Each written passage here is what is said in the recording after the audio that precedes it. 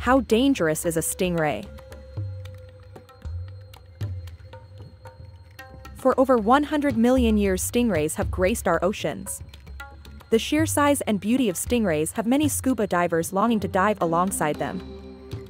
Stingrays have long, thin, whip-like tails equipped with 1 to 3 barbed venomous spinal blades. They use the power from their tail to inject the stinger into the predator. They do not use their stinger to hunt prey, it is only used in defense. When stung by a stingray, you'll feel immediate, severe pain at the wound site.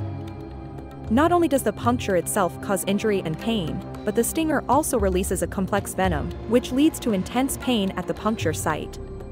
Uncommon effects of the venom include headaches, nausea and vomiting, fainting, low blood pressure, arrhythmias of the heart, and even seizures.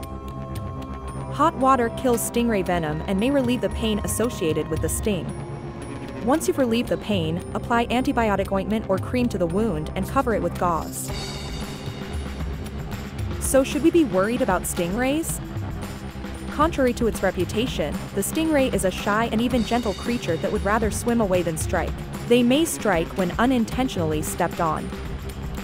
Do stingrays attack humans? Stingrays are not naturally aggressive, but they must be treated with respect. Stingrays generally aren't dangerous. In fact, they have a reputation for being gentle.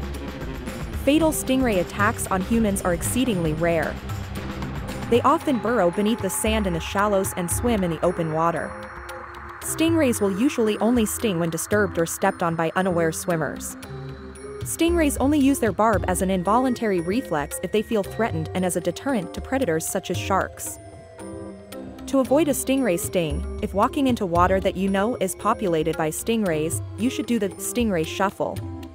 Slide your feet along the shallow sandy bottom. This will give stingrays a warning that you're coming their way. Another option is to throw shells or small rocks into the water ahead of you as you wade. If you spot a stingray when scuba diving, do not crowd the ray. Approach the stingray slowly and avoid excessive noise or flash photography. You must remember you are entering their territory. Remember to avoid physical contact with the stingrays. Tell us your experience here, leave your comment.